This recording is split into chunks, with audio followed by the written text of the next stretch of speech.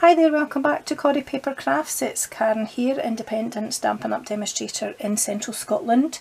Today's project is uh, once again all about dinosaurs and our retiring 2018 to 20 in colours. So I'm making some projects just to use these up because I think they work really well with the Dino Days stamp set and the, the Dino Roar Designer Series paper, which is also retiring. We're into the last week now of this year's annual catalogue and um, next week our new annual catalogue launches. So these in colours are retiring as is the paper, but the good news is that the Dino, Dino Days stamp set and the Dino dies are carrying on into the new catalogue but the, the one and a half inch circle punch is also retiring so that's another uh, item that you should get now if you really want to. And the in colour grosgrain ribbons are also going. So um, I thought I would use up some of my bits and pieces while they're still available as far as I'm aware at the point of filming anyway they're still available to order if it's something that you want. I think I'll be stocking up on the DSP because it's it's a firm favourite of mine although I was late to this suite I didn't order it straight away. So the only colour that's missing from here, this is Lovely Lipstick, this is Grapefruit Grove, we have Call Me Clover and Blueberry Bushel, so the only colour that's missing is Pineapple Punch and I'm going to show you how I made the, the box using Pineapple Punch just now. So I'm going to stand all these boxes just at the top here out of the way and bring in my Pineapple Punch and my scoreboard. So you're going to need a piece of cardstock which measures eight and a half inches by eight and a quarter inches. I've got a few marks on this, I'm not sure why, but never mind. So in terms of scoring, on the long side, the 8.5 inch side, you're going to score at 2, 4, 6 and 8 and I don't think I told you the measurements of the box. It measures 2 inches square and it's 5 inches in height here so it's quite a decent sized box for filling with treats or whatever you want to put in it. So then turn it to the short side here and score at one and three quarters and six and three quarters and then flip the card over and score at seven and three quarters. Then flip it back and turn it back to the long side again. So you'll have that last score line, that half inch one along the top here and you're just going to add extra score lines at one inch just down to that first score line and at five inches same again just down to that last score line. And that's all your scoring done so let's get this out of the way without bumping the tripod. And then fold and burnish on all those score lines.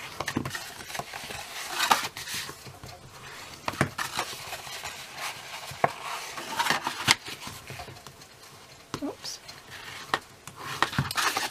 like that. And this score line here. And then this one here folds back on itself. That's the line that you scored the opposite way. So once you're finished you should have something that looks like this. And we scored that one the opposite way so that it folds the opposite way here to make that part at the top.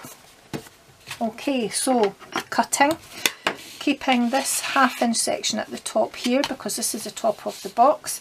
This is the bottom of the box here and you have four equal squares in this small rectangle. So we're going to remove this small rectangle. I need to move my boxes out of the way because they're getting in the way of moving my cardstock around. So I'm just going to remove this rectangle here and take that score line as I go and just cut at an angle there and then turn to the top of that half inch section and cut at a slight angle there as well. And these two pieces of card here are the only waste that you have from the cardstock that you're making your box with. So once we've angled this, that's what you're left with. And then to form the base of the box, I'm just going to cut straight up these score lines to meet that horizontal score line. And anything overhanging, once I've finished the box, I'll just trim with my paper snips because I want the, the bottom sections all to be equal. So that's what we're left with once we've done our cutting. Okay, so I'm going to add some pieces of designer series paper to that and what you'll need for your box is four pieces that measure um, one and three quarter inches by four and three quarter inches. And then you'll need two smaller pieces which measure one and three quarters by three quarters. Okay? And we're going to add all of these onto these sections here. And then these smaller pieces we're actually going to put in this section here. Oops not upside down though we're avoiding the sections with these score lines here because these are actually the side panels of my box. So this is going to be the front panel here. Once we've folded all the box together and I'm just going to double check that. And I'm hoping you can see a little bit better because I've adjusted the angle of my camera slightly. Um, so yes this is going to be the front section. So I just want to pick the piece of paper that I like the best which I think is that one there and then I'm going to just pop the rest on like that. So I'm going to use oops, my multi-purpose glue, liquid glue, and I'm just going to stick these on as quickly as I can, but I want to make sure I've got glue in all the corners, so oops, so that they stay stuck down. And I've just made a fine mess of my box because I dropped that, which is just not fabulous at all. I'm glad that's the bottom of the box and any excess I'll get with my adhesive eraser once we're finished but that was that was lucky. I always get covered in glue, you should know that by now but I really didn't mean to drop that. So again just making sure I get glue into those corners without dropping it this time. Oh, I really wish I could make something without without getting covered in glue. But I think I'm just destined to always be covered in and glue. I think I've managed one project recently that I didn't get covered in glue.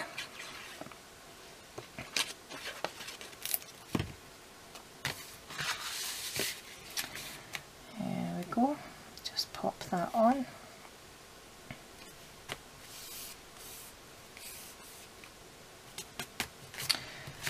and last section here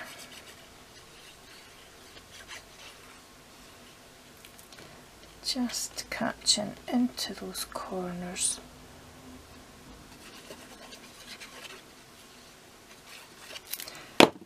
there we are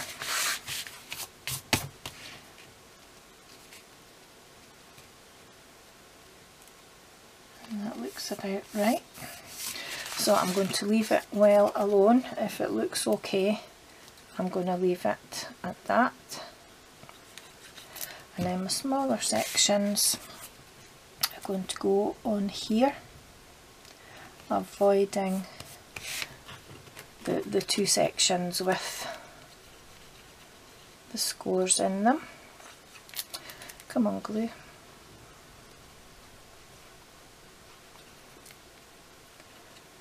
Just make sure that doesn't squish out and pop that bit on there. Oops. So I'm going to put the lid on my glue and as I said this is the front section of my box here so I'm going to add some tear and tape onto that section and I'm going to add a couple of pieces so I'm going to add one piece close to the edge at the front at the, the edge. And another piece about there. So I already know that if that's my front flap that goes down last these are both the side flaps that will tuck inside. So this is going to be the back flap. So I'm going to turn this over as well and I'm going to add a couple of pieces of tape to either side of the back flap because that saves any gaping at the side of the bottom of the box and I'll just show you what I mean on one of these boxes. I wanted extra height which means the base doesn't fit completely but that's okay because I wanted that extra quarter of an inch in the height here but by adding some tape onto the sides of that back panel that one's just not stuck down very well. It saves gaping here if the box is squeezed. So that's why I've done that. Okay so I just need one more piece of tape along the fold here but as always not actually on the fold. And I'm just going to make sure that I give it a good press when I make those score lines and I'm ready to join my box together so I'm going to fold this section over. Remove the backing tape. Just turn in any overlapping bits of tape and press it all together. So again, this seam here goes to the back and I've already put my tape on my front and back section so I'm just going to fold in the two sides. Then I'm going to fold in the back just give that a press like so to catch it in place. And then that front panel is the last panel to come over like so. And then I'm just going to give all that press down making sure that I just catch those side panels in place. And if there's anything overlapping at the bottom once I've put my box together and I can see a tiny tiny bit there I'm just going to take that off with my paper snips. And then because I've scored these little sections here that makes sure that I can push those sides in and fit that lid together nice and neatly. And this actually does fold completely flat here and it would actually hold itself closed but I'm going to punch a couple of holes in it with my Crop-A-Dile um, because when I punch as you can see I'm going to be punching through four thicknesses of cardstock. And I'm using the 1 8th of an inch side rather than the um, quarter inch side. And I've set that to half an inch so that it goes in half an inch from each side. And the same again. Oops. It's sticking to my gluey fingers, that's what's wrong. And just making sure that I line that up um, to get the holes kind of even. And then my um, pineapple punch ribbon, which I've just put my Crop-A-Dile on top of. I'm going to tie the top together. Just my ribbon scissors because I've got a glue dot on there to hold it together. So making sure that I've got the seam at the back so that this is the front of my box, I'm going to pop my ribbon through from the front.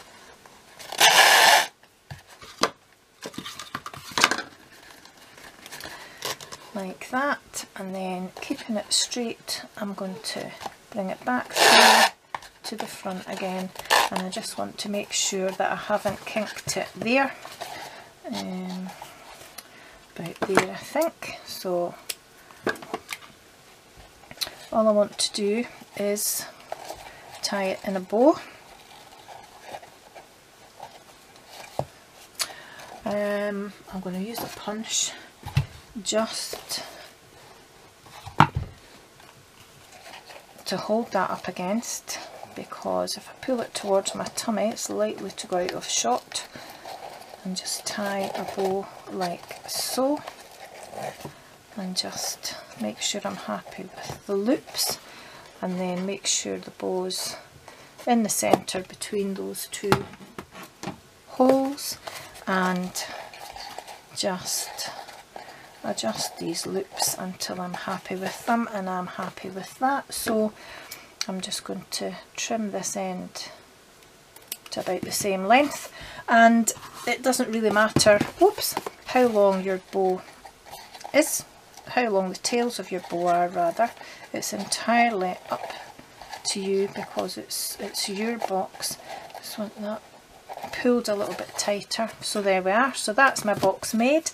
And then as I said I used the Dino Days photopolymer stamp set and I've used um, this dinosaur and these stickles for his back and your Roarsome and I've also stamped those ahead of time but that's the stamps in there. I'm so pleased that these are carrying on because I've not finished using them yet. So I've stamped ahead of time and die cut my dinosaur and the dinosaur and the stickles are stamped and die cut separately and then you join them together. It's really quite clever and I've just stamped your Roarsome in the coordinating pineapple punch ink and just sponged around the edges to take that stark whiteness off. I've popped dimensionals on the back and just to quickly let you see the dies, I think I have shown these in another video so I'm just going to show them really quickly. This is the dinosaur and these are the stickles. Um, that I used for this project but you've got half of a, a broken egg and, and other dinosaurs as well. So um, I'm certainly not finished using these quite yet. So again just double checking that that's definitely the front of my box. Add my dinosaur onto the bottom of my box. I just oops stamped him onto Whisper White cardstock, so pop him about there. And then your Roarsome somewhere near the top in the middle. Like so. And that's my box made. So that's the missing colour. So if we sit them all together it lets you see all five in colours together really bright and cheerful and lots of those colours are in the designer series paper. I did use the back side of one of the sheets to do this box here because this is um, the back of one of, of one of the sheets but I think I like the actual dinosaurs. So that's my box. Thanks for watching. If you've not already subscribed then I would love it if you would. I'm aiming for 250 subscribers and I'm almost there so uh, I'm setting small goals each time I reach a particular goal so thanks to those that have subscribed already and until I see you again later in the week take care and bye bye for now.